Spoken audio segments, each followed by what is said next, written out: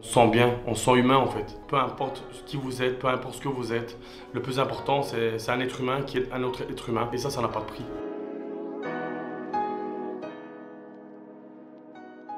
Moi, c'est Ali Koskun, j'ai 30 ans, j'habite Marcinelle, je suis entrepreneur, j'ai une société de construction, je suis indépendant. Un jour au soir, il faisait vraiment froid, j'étais en train de fumer une cigarette devant chez moi, j'ai dû l'éteindre tellement qu'il faisait froid. Et quand je suis rentré chez moi, je me suis dit, Ali, il faut que tu fasses quelque chose. Toi, tu as la chance d'avoir une maison, un toit sur ta tête, du chauffage, et il y a des gens qui dorment par ce froid, que toi, tu même pas le courage de fumer une cigarette. Et donc, euh, directement, j'ai fait un petit mot sur euh, Facebook, un petit message, pour que mes amis puissent aussi euh, m'aider, pour qu'on puisse aider beaucoup de sans-abri.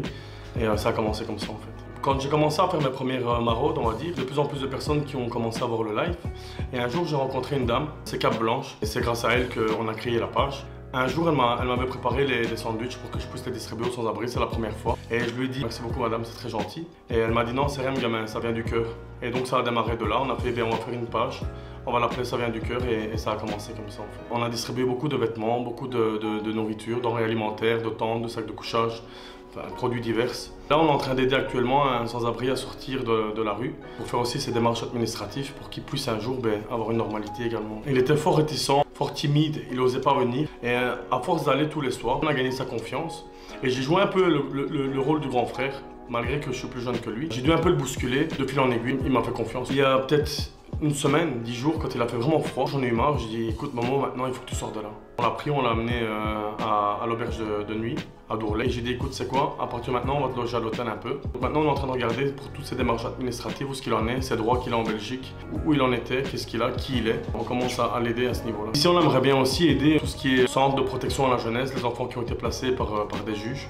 On est en train de parler un peu avec, avec certains centres pour leur fournir peut-être euh, des jouets, des vêtements ou autres pour les enfants. Ici, on va fournir des canapés pour, pour un centre qu'on a été acheté tout nouveau. Grâce, à toutes ces personnes généreuses, on a pu rassembler et acheter euh, genre 10 canapés pour leur donner, pour qu'ils puissent en profiter dans leur petit salon. On a encore d'autres actions qu'on aimerait bien faire aussi. Ici, notamment, on a fait l'action peluche. Donc, c'est chaque personne, euh, entre guillemets, c'est un parrainage symbolique. Chaque personne devait prendre un doudou et écrire une carte, un petit mot qui va être mis par la suite dans son dossier. Et quand il sera adulte, il, pourra le consulter. On peut m'aider principalement sur euh, la page Facebook, ça vient du cœur. Donc vous envoyez un message. Il y a des personnes aussi bénévoles qui traitent les messages peut-être pour nous contacter déjà. On a un point de récolte pour tous les vêtements que vous ne mettez pas, hommes, femmes, euh, que ce soit pull, veste, pantalon, euh, pour l'hiver. On récoltait tout cela et on, continue à récolter d'ailleurs à la route de la Bellevue numéro 58 à Marcinelle. C'est donc tous les samedis de midi jusqu'à jusqu'à 15h.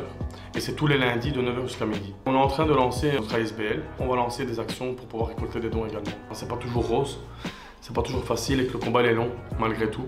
Je lui ai demandé c'était quoi sa, sa, plus belle expérience. Il m'a dit c'est d'être moi-même. Et je lui ai demandé son plus gros regret. Il dit c'est de m'aventurer dans un pays que je ne connaissais pas au final. Il y a vraiment des gens qui sont à l'abandon d'eux-mêmes en fait. Et ceux-là, on les néglige énormément. Et c'est ceux-là que j'aimerais bien mettre en avant aussi maintenant.